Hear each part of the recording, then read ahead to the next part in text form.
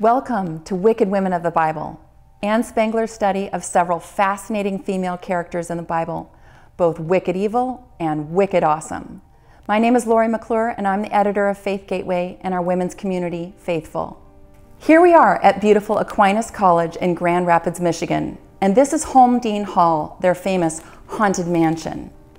Even though stories of ghostly elevator riders and apparitions roaming the mansion have all been debunked, rumors about this beautiful building continue.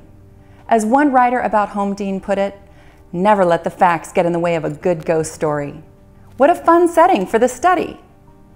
Let me tell you a little bit about Ann Spangler. Ann is an award winning writer and the author of more than 12 books. She's the co author of the best selling book, Women of the Bible. Ann's fascination with and love of Scripture have resulted in books that have opened the Bible to a wide range of readers. She has two beautiful daughters and lives right here in lovely Grand Rapids, Michigan.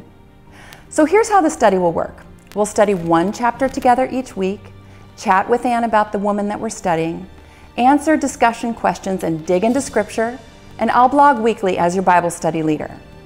Before we begin, go to store.faithgateway.com and pick up your copy of Wicked Women of the Bible and join us as we delve into the lives and stories of some of the Bible's most intriguing women. Some are notorious and scheming and evil, and others are wise, brave, and redeemed out of their sinful lives. We can't wait to begin. Grab your Bibles and study materials and join us for Wicked Women of the Bible.